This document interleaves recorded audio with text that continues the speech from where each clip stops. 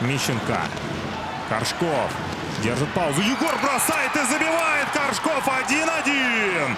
За минуту и 20 секунд до конца третьего периода Амур сравнивает счет в этом матче.